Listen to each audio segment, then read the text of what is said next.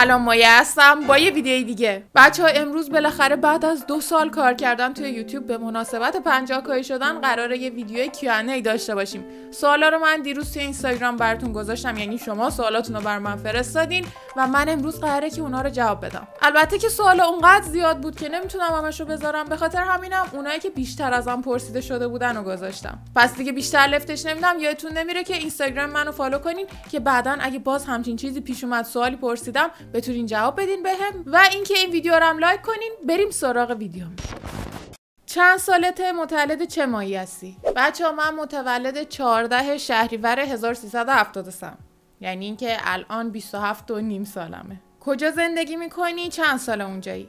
بچه ها من چهار سال پیش از ایران اومدم بیرون اول رفتم گرجستان بعد یه مدت رفتم روسیه بعدم اومدم ترکیه الان توی استانبول دارم زندگی می‌کنم تقریبا همون نزدیک سه سال خورده ایه. توی دبیرستان رشته چی بود؟ من تو دبیرستان ریاضی فیزیک بودم تو فرزانگارم بودم. توی کنکور رتبت چند شد؟ رشته چیه؟ کدوم دانشگاه خوندی؟ این یکم بیشتر شبیه سوالای استخدامیه ولی خب اوکی. من بچه ها کارشناسی طراحی صنعتی خوندم توی دانشگاه از زهرای تهران و رتبه هم 73 بود. کتابت کی میاد؟ تو ایران هم هست یا نه؟ بچه نمی‌دونم حقیقتا کتاب کی میاد چون هنوز اصلا تمومش نکردم کامل. این روزا خیلی سرم شلوغه خیلی کارام زیاده. اصلا وقت نمی‌کنم بشینم اونو حسابی بهش برسم چون یه کاری هم نیستش که همجوری بتونی الکی سرسری انجامش بدی. باید تمرکز داشته باشی خیالت راحت باشه راحت بشینی فرصت بذاری براش خودتون می‌دونین دیگه. و اینکه تمام تلاشم بر اینه که بتونم اصلا بفرستمش ایران. هدف اینه. اگه نیاد ایران دیگه عملا به در نمی‌خوره. به هر حال به یه شکلی میرسونم. دستتون نگرنش نباشین. ولی اینکه کی میاد نمی‌دونم. فعلا به این زودی بعید می‌دونم در بیاد. چون فعلا فقط 4 5 تا فصلش تموم شده و قرار خیلی بیشتر باشه. تازه بعد از اونم ویرایشش هست نمی‌دونم بررسیش هست چاپش و اینا. خب دیگه روندش طولانیه می‌دونین. قبل یوتیوب چه شغلی داشتی؟ بچه من اینو بخوام بگم کلا خودش میشه یه ویدیو جداگونه ای. چون خیلی من کارهای مختلفی کردم از خیلی سال پیشم کار می‌کردم.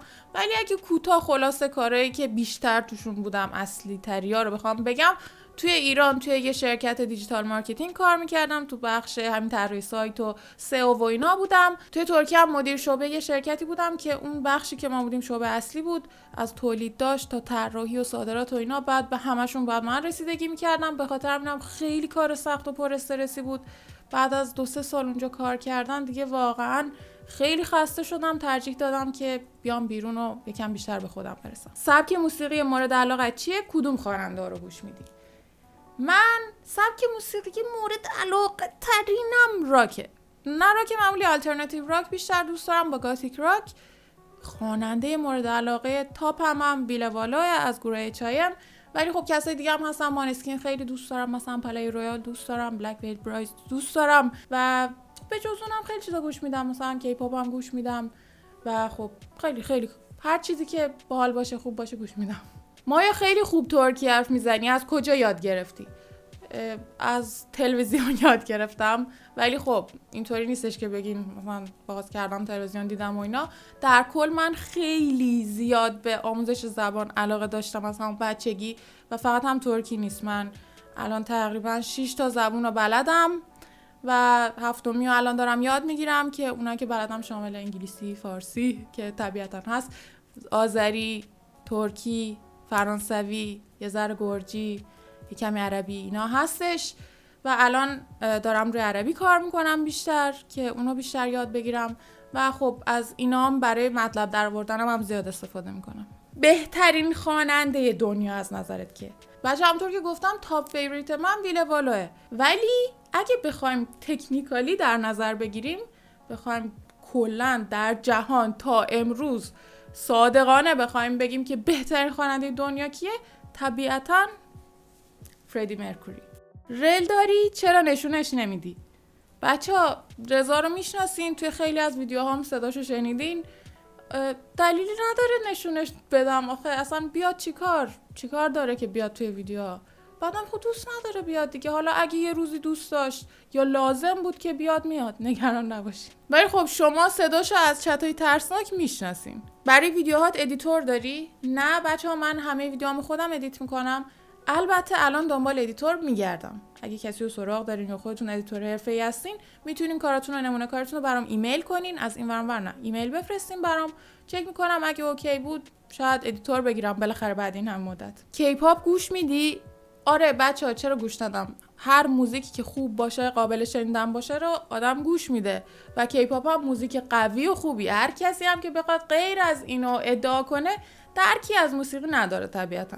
چون اینا روشون بزرگترین آدم و بزرگترین کمپانیا دارن کار می‌کنن. اصلا ممکن نیست خوب نباشه. شاید حالا با سلیقه بعضیا جور نباشه ولی طبیعتا موزیک های قوی هن. منم خب خیلی هاشون گوش میدم دوست دارم ولی مورد علاقه ترینم گروه استریکیدزه به نظر خودت دختر ترسویی هستی یا شجاع؟ و اینکه دیگه ادامش نیست. نمی‌دونم. و اینکه چی؟ ولی به نظر خودم شجاع نیستم ولی ترسو نیستم اصلا. نمیترسم از چیز خاصی. تا حالا کامنت هیت گرفتی؟ کامنت های هیت رو تاثیر می‌ذاره؟ بچه مشخصه که کامنت هیت گرفتم.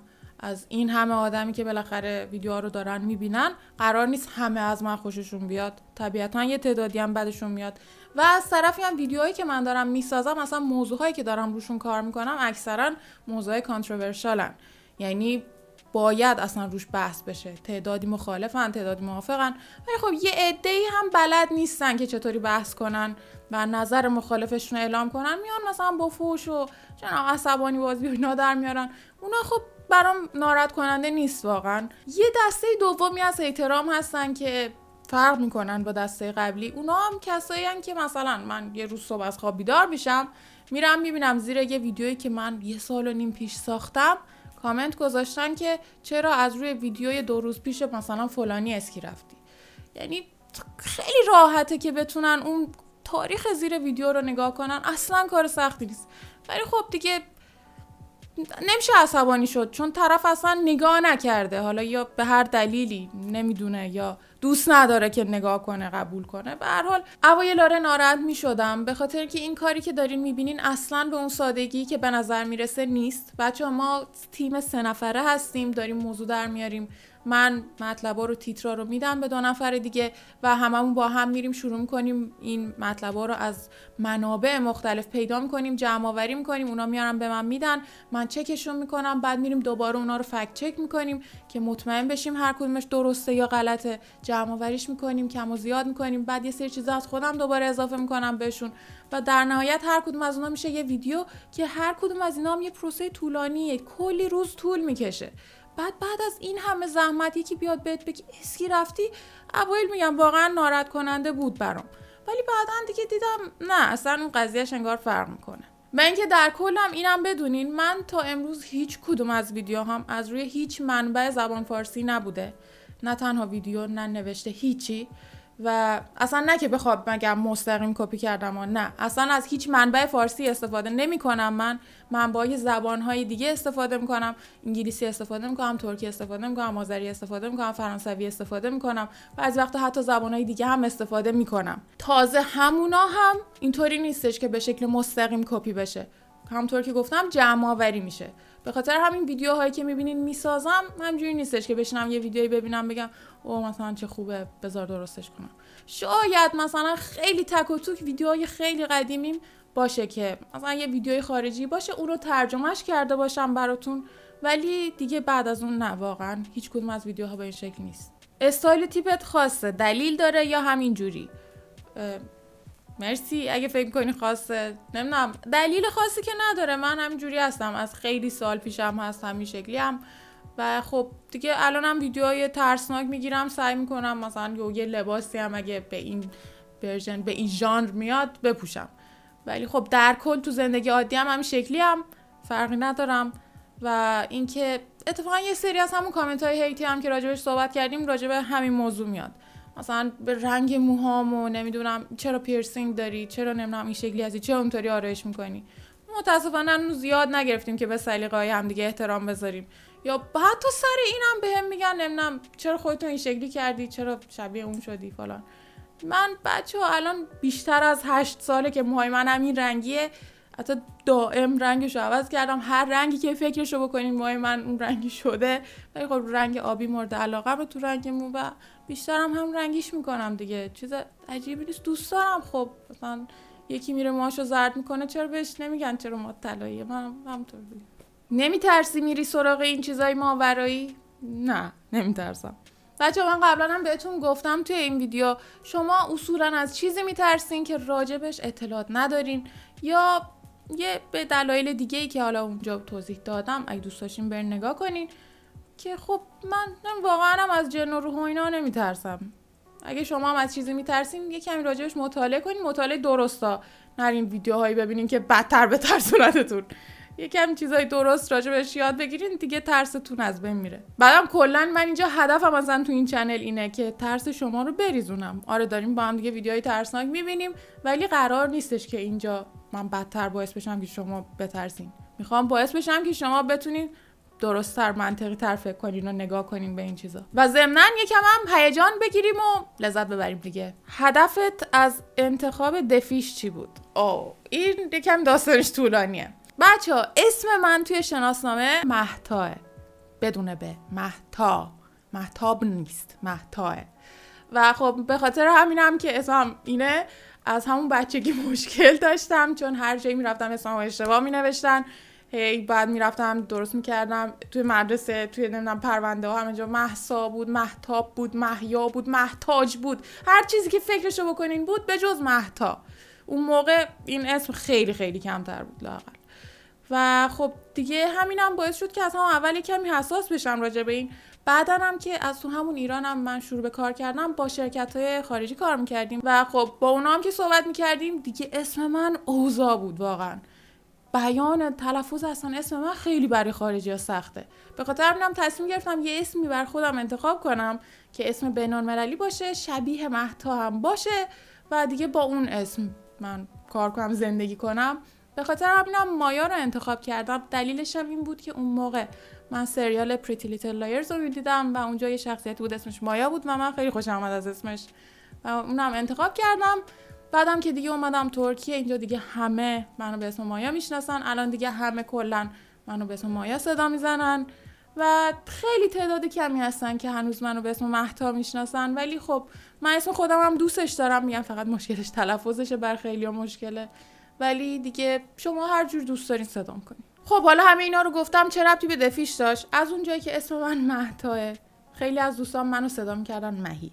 بعد یه بار توی یکی از همین text با یکی از دوستام اون اومد فینگلیش هم داشت تایپ می‌کرد نوشت مهی. بعد من نمی‌دونم واقعا اون لحظه عقلم کجا بود و از اونجایی هم که می‌دونین قبلا هم گفتم من به ماهی خیلی شدیدا آلرژی دارم و خیلی هم بدم میاد از ماهی. و اون مهی رو خوندم ماهی. و خیلی عصبانی شدم. شروع کردم به دعوا که ماهی خودتی برو نه یعنی چی؟ چرا ماهی؟ می‌تونی من بدم میاد نه. و دیگه اونا هم کلی خندیدن دوستام اینا بچه خوابگاه بودن. این همه فهمیدن که این قضیه اینطور شد و از اون به بعد همه بهم می‌گفتن ماهی. و همین شد که اسم من شد مایا دفیش. مایا ماهی. چطوری این ایده به سرت زد که کانال ترسناک بزنی؟ بچه من دو سال پیش که چنلمو شروع کردم اون موقع خیلی یوتیوب ترکیه رو دنبال می‌کردم و یه یوتیوبری بود که تو ژانر ترسناک کار می‌کرد. من خیلی از کاراش خوشم میومد یه بار همجوری شانسی یکی از ویدیوهاش یعنی همون ویدیو امانگاس اونو اومدم درست کنم که ببینم چطوری بچه ها چی میگن مردم دوست دارن یا نه. و وقتی درستش کردم دیدم که خیلی خیلی خوششون اومده بود. و بعد از اون تصمیم گرفتم که کم کم ویدیوهای ترسناک درست کنم. اون موقع من نمی‌دونستم اصلا ژانر ترس داریم توی ایران. ولی خب بعدا که کم کم کار کردم دیدم که دقیقا تو اون موقعی که من شروع کردم به ژانر ترس قبل از من سه نفر دیگه هم بودن که اولیش نیک تیوی بود که خیلی خیلی قدیمی تر از همه است. فکر کنم اولین کسی باشه که تو ژانر ترس کار می‌کنه. بعد دیگه هم‌دوره‌ای من بودن که پویا بیگ بوی بود سعید واکوور بود و من. دیگه بعد از اونم کم کم بچه های دیگه اومدن تو این ژانر ترس و اینا. دیگه اینطور شد دیگه همین. سوالم اینه که اگه بهت پیشنهاد یه میلیارد دلاری بدن یوتیوب ول می‌کنی؟ ببین کی واریز می‌کنی؟ نه بچه‌ها شوخی کردم.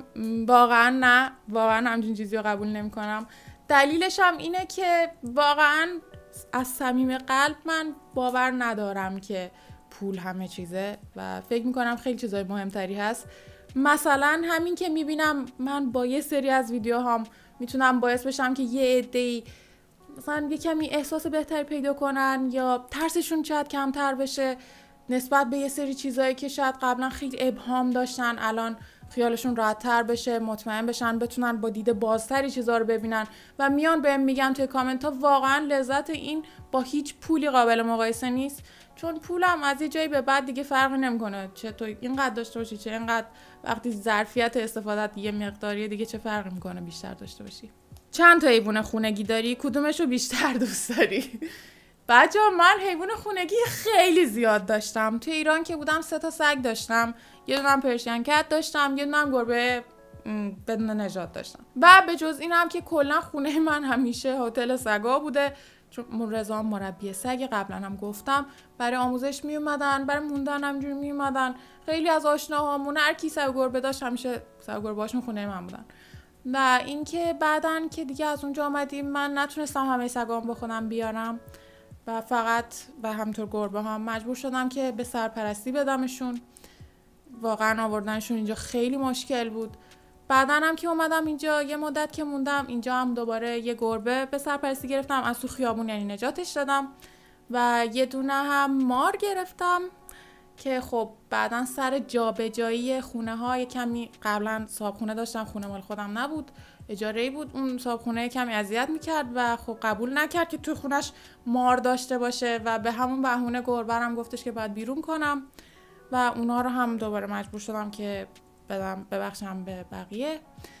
و تا اینکه توکیو رو پیدا کردم. که خودتون دیدین توکیو چطوری پیدا شد چه اتفاق عجیبی افتاد.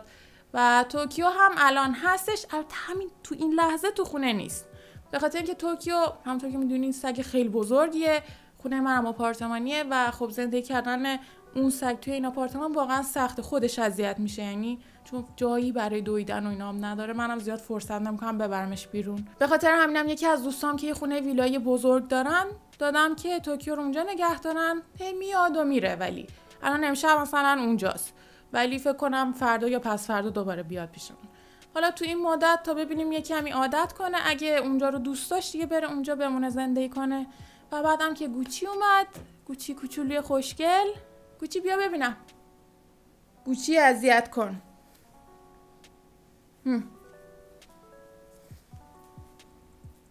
جناب آقای گوچی هر وقت من می‌خوام ویدیو بگیرم شیطونیش می‌گیره. تمام روز میخوابه منتظر مونه تا من ویدیو بگیرم تا شروع کنه بودای من بر مگه نه؟ شیطونی کردی خسته شدی الان خوابت دیگه همین. بعد از اینم می‌خوام دوباره یه مار دیگه بگیرم شاید گربه دوباره بگیرم سگ کوچولو اگه پیدا کنم شاید بگیرم. نمی‌دونم من خیلی همه حیونا رو دوست دارم. اگه بتونم میمون می‌گیرم بتونم اسب می‌گیرم. اگه جاشو داشته باشم همه چی می‌گیرم. ولی دیگه جا فعلا یه کمی مشکل جا دارم. و اینکه کدوم رو بیشتر از همه دوست دارم؟ همشون. اصلا من میشه گفت کدوم؟ همشون رو واقعا خیلی زیاد دوست دارم. حسودی نکن تو هم زیاد دوست دارم. گوچی بیا سوال آخر رو با هم بخونیم. میگه که چقدر دوستمون داری؟ از طرف قدیمی ترین subscriber ت که از 689 تا دونه sub دارم. اول که مرسی دوستم از اینکه این همه مدت همراهمون بودی و اینکه بچه ها نمی‌خوام کلیشه به نظر برسه ولی واقعا خیلی زیاد دوستتون دارم. من الان اینجا هیچ دوست آشنایی ندارم. یه چند تا دوست ترک دارم خودتونم دیدین توی ویدیوهای قبلی. ولی خب اونا الان سر کار میرن سبک زندگیاشون به من نمی‌خوره واقعا.